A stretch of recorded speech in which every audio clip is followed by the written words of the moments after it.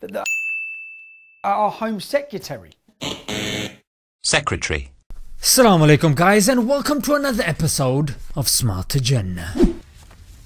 Smart agenda.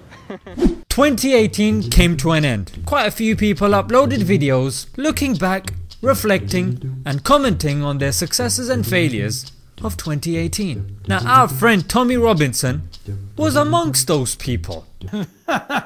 he unfortunately talked about a lot of successes but any success of Tommy Robinson is a failure for everybody else because that means it's a victory for the right wing people and despite what the media says a right wing is a growing threat. But there's a few vital things our mate Tommy Robinson hasn't done. During that, I was absolutely touched. Now here is a prime example. It looks like he's been going to speaking classes and learning hand movements. All I can say to you Tommy is get a refund mate. It's clearly not working out. That the our Home Secretary. Secretary. Secretary. Secretary. Secretary. Getting Tommy to memorize words is not a good idea because then you're relying on Tommy's ability to read. And we all know that's one of Tommy's weaknesses. He can't read. They were due to fly in to interview me. A great success. Interview me. Ah. There's no N in interview mate. Yeah? You actually have to make an effort to learn the words. You can't just be making up your own words and expect people to be okay with it. Giving credit where credit is due. I can see Tommy is making an effort, especially by using his neck. A lot of neck muscles have gone into that sentence, but I'm afraid it's just not enough mate. Try putting less neck and more brain into that next time yeah? Just looking out for you mate.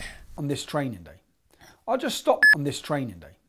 I just stopped off with the camera team to get Here we realise the conspiracy theorists who believe Tommy is a robot. This is adequate proof for them. It seems like the robot is malfunctioning. His left eye just start randomly starts blinking.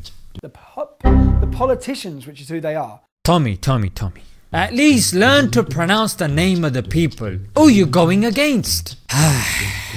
anyway, Tommy continues his rhetoric, talks about the same old things he's been banging on about, but enough people on social media have proven, despite him talking about grooming gangs, he doesn't talk about white grooming gangs.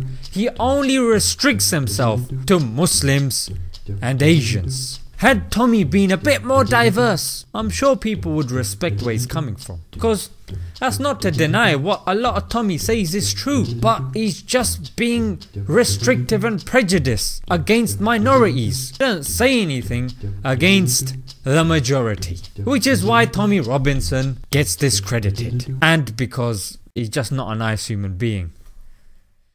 That's my advice to you Tommy. Find another teacher, learn some English, improve your hand movements and stop directing your hatred towards minorities mate. Be a bit more diverse. Hopefully you'll take my advice on board in 2019 and I wish you a happy new year Mr Tommy.